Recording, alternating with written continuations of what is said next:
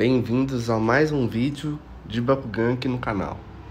A intenção desse vídeo é mostrar três cartas e três Bakugans. Eu tenho algumas cartas que vocês não viram ainda, então eu acho interessante essa forma de vídeo. Lembrando que esses vídeos são compilados da minha conta do TikTok. Futuramente eu pretendo trazer vídeos diferentes aqui para o YouTube. E se você tiver uma sugestão, pode deixar nos comentários. Eu leio todos e dou coração em todos também. E outro recado bem importante. O nosso canal está com quase 650 inscritos. Eu estava querendo chegar a mil inscritos até o fim do ano.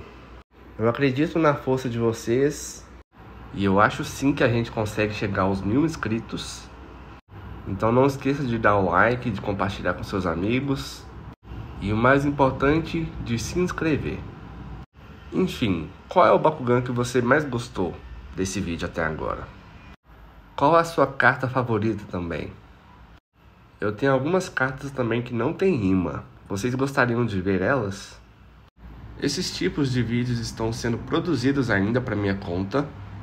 Então é bem possível que daqui a alguns dias mais partes serão disponíveis aqui no YouTube. E nesse vídeo eu quero dar um salve para um inscrito o nome dele é Arthur e ele vem me ajudando bastante, me incentivando. Então aqui está o salve para ele. Se vocês querem conhecer o trabalho do Arthur também, ele tem uma página no Instagram e o nome da página é Bakugan Quest. Eu convido vocês a seguirem ele e eu estou esperando vocês lá. Se você estiver assistindo o vídeo até aqui e quiser um salve também, é só escrever nos comentários. Nessa parte do vídeo não deu para ver muitas cartas, porque elas estavam nos sleeves. Por isso que a carta estava com esse detalhe meio fosco.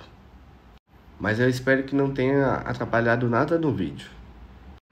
E para quem está se perguntando, esses três Bakugans são da nova geração. E as cartas, obviamente, também. Essa, se eu não me engano, vai ser a última parte desse vídeo. E o restante provavelmente eu vou postar semana que vem.